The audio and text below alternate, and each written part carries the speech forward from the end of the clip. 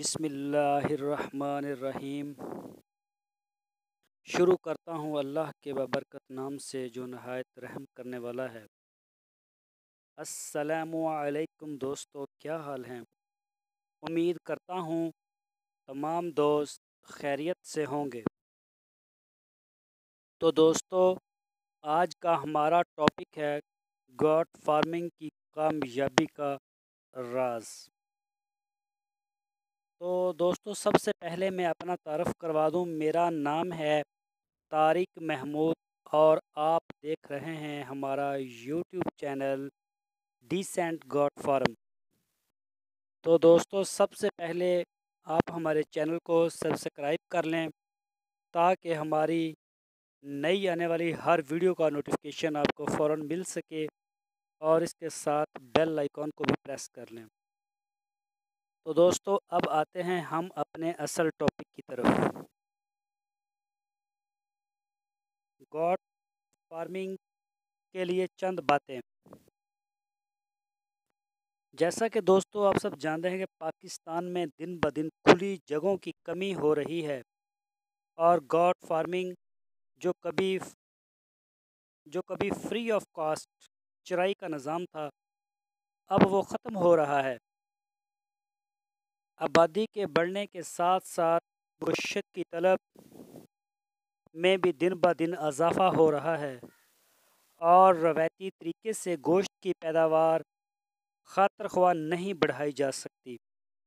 ایک مطالعہ سے معلوم ہوا ہے کہ پاکستان گوشت برآمد کرنے والے ممالک میں انیسویں نمبر پر آتا ہے، لیکن بکریوں کی تعداد کے حوالے سے چین، انڈیا کے بعد تیسرے نمبر پر آتا ہے۔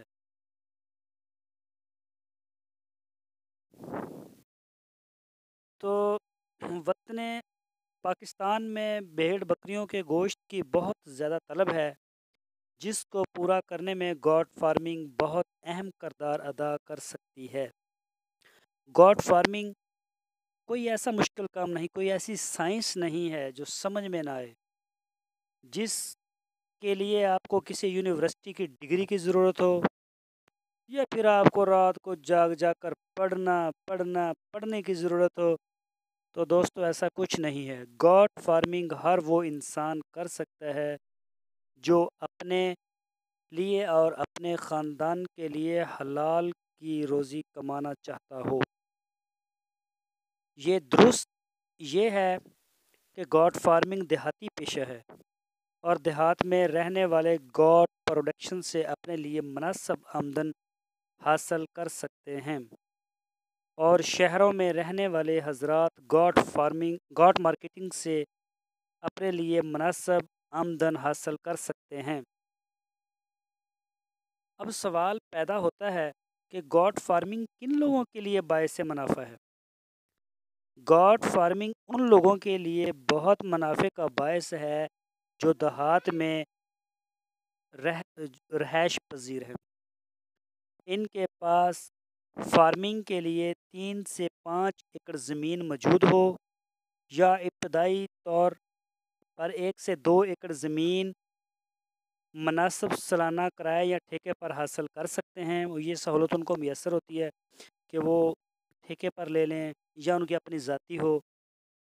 ابتدائی ابتدا پر دس سے پندرہ ٹیڑی بکریاں خرید سکتے ہوں۔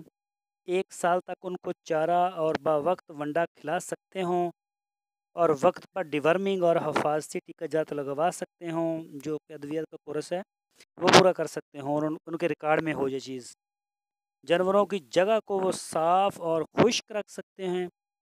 دن میں دو سے تین گھنٹے کے لیے چرائی یا پھر چہل قدمی کروا سکتے ہیں۔ دو سے تین کنال گوارا اور جنتر لگا سکتے ہیں۔ ہر چھ ماہ کے بعد نر جانوروں کو مناسب قیمت پر لوکل سطح پر فروخت کرنے کی کوشش کر سکتے ہیں۔ اگر مندرجہ بالا نکات کو ایک منصوبے کے تحت تحت اختیار کیا جائے تو گاڈ فارمنگ بہت منافع بخش ہے دوستو۔ وہ دوست جو لائیو سٹاک فارمنگ کے شعبے میں آنا چاہتے ہیں اور ایک اچھا فارمر بننے کے خواہش رکھتے ہیں اور ساتھ نقصان سے بھی ڈرتے ہیں۔ تو گاڈ فارمنگ ان کو بہترین تربیت حاصل کرنے کا ایک موقع فراہم کرتا ہے۔ کہ ایسے دوست جو دیہات کی سطح پر فارمنگ کرنا چاہتے ہیں اور ان کے پاس دو سے تین لاکھ روپے سرمایہ اور دو سے تین ایکڑ زمین اور وقت اور شوق ہے، تو وہ گاڈ فارمنگ سے اپنے کام کی ابتدا کریں۔ اور ویسے بھی دیہاتوں میں یہ چیز دیکھی گئی، جاتی ہے کہ جو بھی لوگ ہوتے ہیں نا، وہ بس زراعت کا ہی کام کرتے جاتے ہیں ایگریکلچر کا، تو وہ تو اب بری طرح پنجاب میں بالکل مت، بہت زیادہ متاثر ہو گیا ہے کہ ان نہروں میں پانی نہ، بالکل بھی نہیں ہے۔ کوئی مہینے میں ایک آدھی بار آتا ہے۔ تو اب اس کا تو نقصان ہے۔ اتنے ٹھیکے کے اوپر زمینیں لینی اور اتنے مہنگے بیج اس کے اوپر جو باقی اخراجات اس کے برداشت کرنے پڑتے ہیں، جب بندے کی جان نکال دیتے ہیں۔ تو دوستو، ایسے میں بکری کا کام بڑا ہی نفع دیتا ہے۔ بالفرض اگر آپ کی اپنی زمین ہے اور پانی تو ہو نہیں ہے، اس وجہ سے فصلیں بھی نہیں کاشت ہو رہی، تو آپ اس کو چراغا بنا سکتے ہیں۔ اس کے اوپر ہم بعد میں بات کریں گے۔ آپ چلتے ہیں اپنی اگر اسی ٹاپک کی طرف۔ تو گاڈ فارمنگ سے اپنے کام کی ابتدا کریں اور ابتدا میں ایسی دس سے بیس بکریاں خرید لیں جو سال میں دو دفعہ بچے دیتی ہیں۔ ان کے ہر، ان کے جو بچے ہیں، ہر چھ ماہ بعد فروخت کرتے جائیں اور ٹیڈی بکریوں کی عمر عام طور پر سات سے آٹھ سال ہوتی ہے اور اپنی زندگی میں یہ تقریباً اوسطاً جو ہے نا، وہ پندرہ بار بچے کو جنم دیتی ہے۔ چھ سال کے بعد آٹھ سال کے بعد، سوری، بکری بوڑھی ہو جاتی ہے اور اس کی جگہ نئی جوان بکریاں لے آنی چاہیے، اس کو بیچ دینا چاہیے۔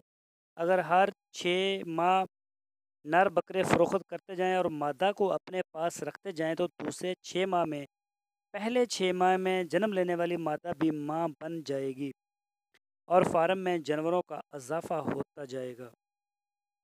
مارکیٹ میں ٹیڈی نسل کے جانور عام گوشت کی مارکیٹ میں فروخت کیے جاتے ہیں اور عام گوشت کی مارکیٹ میں جانور جو بکتا ہے، اس کا وزن تقریباً پندرہ کلو تک ہوتا ہے۔ اور سودا بازی سے مناسب قیمت پر فروخت کیا جا سکتا ہے۔ عام طور پر پندرہ کلو کا جانور تین تقریباً ساڑھے تین سو سے چار سو، ساڑھے چار تقریباً چار سو روپے کلو تک مارکیٹ میں زندہ فروخت ہوتا ہے۔ اگر جانور کو وفر مقدار میں چارہ، وقت پر ڈیورمنگ حفاظتی ٹیکہ جات اور اچھی مینجمنٹ کی جائے تو پندرہ کلو وزن چار ماہ کے اندر بآسانی کر لیتے ہیں جانور اور چھ ماہ کے اندر تو بیس سے پچیس کلو کا، چوبیس پچیس کلو کے بھی اچھے رزلٹس ملتے ہیں۔ جو کہ ایک اچھی قیمت دیتے ہیں۔ ٹیڈی نسل کے جانور پالنے میں کم محنت کم سرمایہ لگتا ہے۔ اگر بکریوں سے بچے حاصل کر کے فروخت کیے جائیں، پھر تو کیا ہی بات ہے، پھر تو بہت منافع ہوتا ہے۔ عام طور پر ہمارے ذہنوں میں ایک ہی سوال اٹھتا ہے کہ تیس ہزار، چالیس ہزار کے بکرے کی قیمت ہوتی ہے۔ کہ اس قیمت پر بکے تو منافع آئے گا۔ ہم سوچتے ہیں کہ جی اگر دس بکرے بھی فروخت کیے تو چار لاکھ بن جائیں گے۔ تیس، چالیس ہزار خال، تیس، چالیس ہزار خالص نسل کے بکروں کی قیمت لگتی ہے ٹیڈی بکروں کی قیمت نہیں لگتی دوستو۔ تو جو اچھی نسل کے بکرے ہوتے ہیں، خالص نسل کے، ان کا قد، رنگ اور وزن زیادہ ہوتا ہے اور ان کو پالنے کے لیے اخراجات بھی بہت زیادہ ہوتے ہیں۔ یہ بات یاد رکھنے کی ہے کہ جو اچھی نسل کے جانور ہیں، یہ بہت نخریلے ہوتے ہیں۔ اگر چارہ، ونڈا ان کی مرضی کے مطابق نہ ہو، تو یہ کھانے سے بھی انکار کر دیتے ہیں۔ اگر ان کی ڈیورمنگ، حفاظتی ٹیکہ جات اور موسم کی شدت سے بچاؤ کا انتظام نہ کیا جائے تو دوستوں لینے کے دینے پڑ جاتے ہیں۔ اس لیے اگر گاڈ فارمنگ کے کم از کم دو سال بعد نسلی بکروں کو پالا جائے تو پھر مناسب منافع ملتا ہے۔ اس کے برعکس ٹیڈی بکرے کے بچے بہت تعاون کرتے ہیں۔ یہ بڑے مزے کا کام ہے ہمارے ادھر اس پنجاب میں۔ کیونکہ ادھر گرمی بہت زیادہ پڑتی ہے تو چارے کے مسائل، پانی کے مسائل، تو یہ ٹیڈی بکری کی تو کیا ہی بات ہے۔ ان کو بھی جو ملے وہ بیچارے کھا لیتے ہیں۔ ٹیڈی نسل کے بکرے کوئی انکار نہیں کرتے، کوئی آگے سے جواب نہیں دیتے کہ جی ہمیں پسند نہیں، ہم نہیں کھائیں گے۔ یہ بڑے شوق سے کھاتے ہیں۔ ون ڈے کے اوپر آپ ان کو پال سکتے ہیں۔ اور ٹیڈی نسل کے بکروں کو اگر اچھے چارے پر پالا، اچھے چارے پر بھی پالا جا سکتا ہے اور ونڈے کی ضرورت بھی نہیں ہوتی۔ اگر گھر میں بچی ہوئی روٹیاں کو گیلی کر کے باریک توڑی میں مکس کر کے کھلا دی جائیں تو پھر بھی یہ ونڈے کی ضرورت ان کی پوری ہو جاتی ہے۔ کہنے کا مقصد یہ ہے کہ جو دوست گاڈ فارمنگ کرنا چاہتے ہیں تو وہ ابتدا ٹیڈی بکریوں سے کریں۔ اس سے کم محنت، کم سرمایہ، پھر ایک سے دو سال میں اچھا خاصا جانوروں کی تعداد میں اضافہ کر سکتے ہیں، جس سے وہ اچھی نسل کے کم عمر کے بکرے ہر سال اچھی منڈی سے خرید کر ان کی پرورش کر کے عید قربان پر فروخت کر سکتے ہیں۔ قربانی کے جانور اپنے علاقے کی معاشی صورتحال کے مطابق قیمت دیتے ہیں۔ اب جو پنجاب کے دہی علاقے ہیں یا چھوٹے چھوٹے شہر ہیں، تو ان علاقوں میں زیادہ تر جو اچھی نسل کے بھی بکرے ہیں، وہ تقریباً بیس سے پچیس ہزار تک ہی کے جانور خریدے جاتے ہیں۔ شاز و ناظر ہی چالیس سے پچاس ہزار تک کا جانور خریدا جاتا ہو۔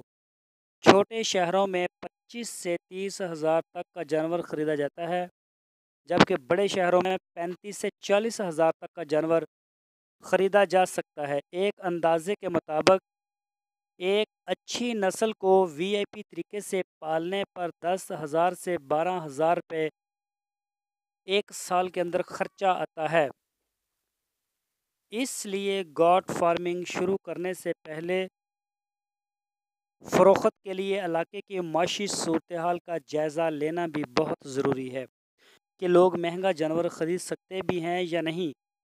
عام طور پر گوڈ فارمنگ میں ٹیڈی بکری کا کراس بیتل بکرے سے کروا لیا جاتا ہے اور اس سے حاصل ہونے والا جانور ٹیڈی جانور سے قد میں تھوڑا سا بڑا لیکن بیتل سے کم ہوگا اور ایسا جانور دوگلا کہلاتا ہے۔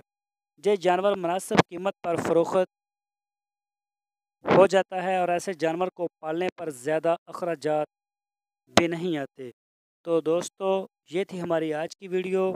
میں امید کرتا ہوں کہ میرے تمام دوستوں کو میری ویڈیو پسند آئی ہوگی اور آپ کے علم میں یہ اضافہ بھی کرتی کر گئی ہوگی۔